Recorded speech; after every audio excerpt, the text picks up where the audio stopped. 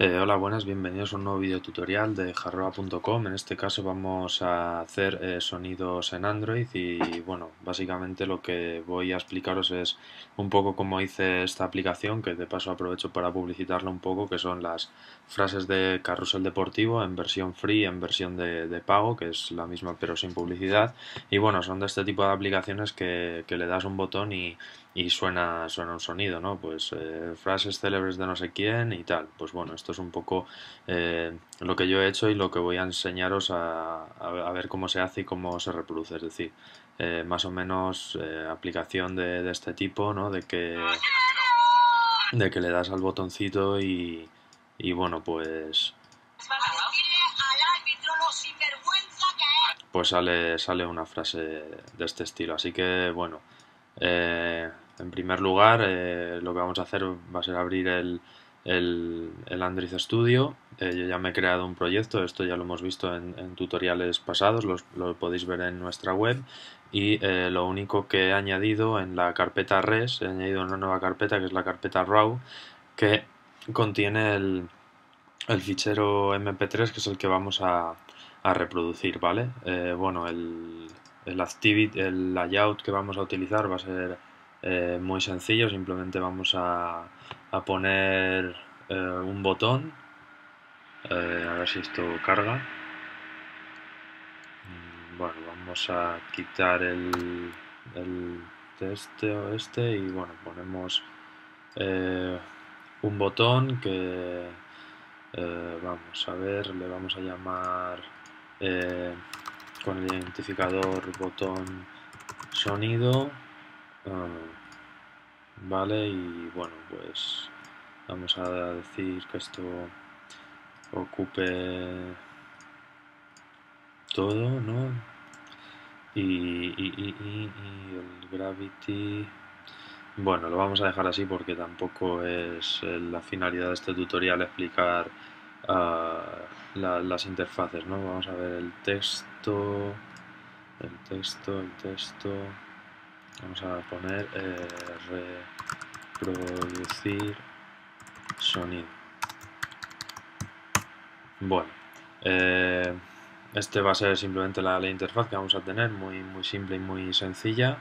Eh, nos vamos al fichero y bueno, he de decir que, bueno, esto lo vamos a quitar, he de decir que existen eh, dos librerías para reproducir sonidos, una es la Pole Sound, que es una librería que permite jugar con los sonidos, es decir, reproducirlo más rápido, balancear el sonido, subir y bajar el volumen. El problema que tiene ese, esa librería es que no permite reproducir eh, ficheros de, de, más de 100, eh, ciento y pico, de, en torno a 100K, no recuerdo exactamente. Y luego está el, la librería Media Player, que es la que vamos a utilizar aquí, que esta permite reproducir eh, ficheros de, de, cualquier, de cualquier dimensión y de ficheros de, de audio de, pues, no sé, de media hora, 50 minutos, lo que queramos. Entonces, bueno, vamos a, a crearnos una instancia de, eh, de esta librería, del, de, un objeto de esta clase, que vamos a llamar mp, y bueno, vamos a crearnos el botón, botón, eh, botón sonido,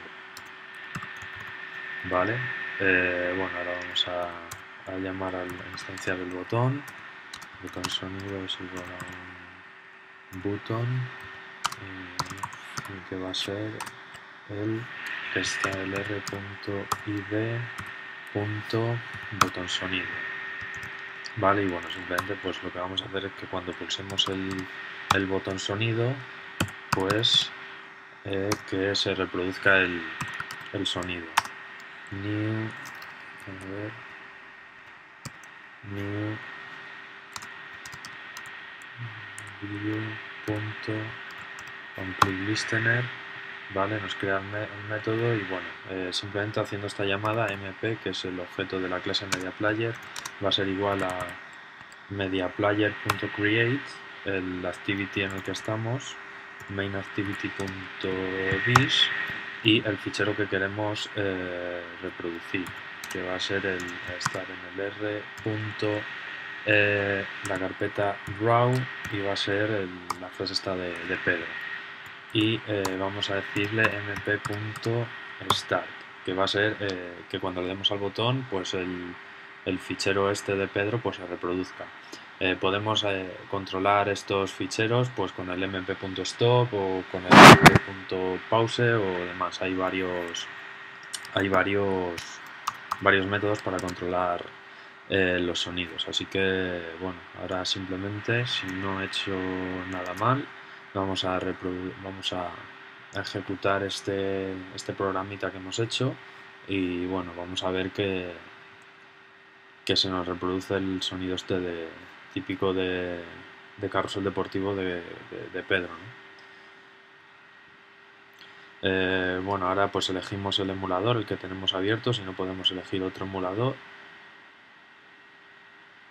Aquí nos dirá si hay algún error, nos lo dirá. Ahora parece que no.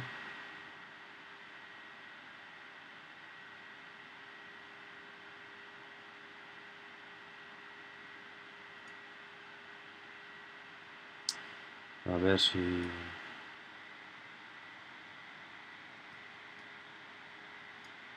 Bueno, ahora vemos como ya se nos ha abierto la aplicación, le damos a... Eh. Le damos a reproducir sonido y nos reproduce el, sonido del fichero que tenemos. Así que bueno, esto ha sido este sencillo video tutorial y espero que, os sirva y que hagáis este tipo de aplicaciones chorras que, que bueno, la verdad que son bastante graciosas en algunos casos. Así que bueno, esto ha sido todo y hasta otra.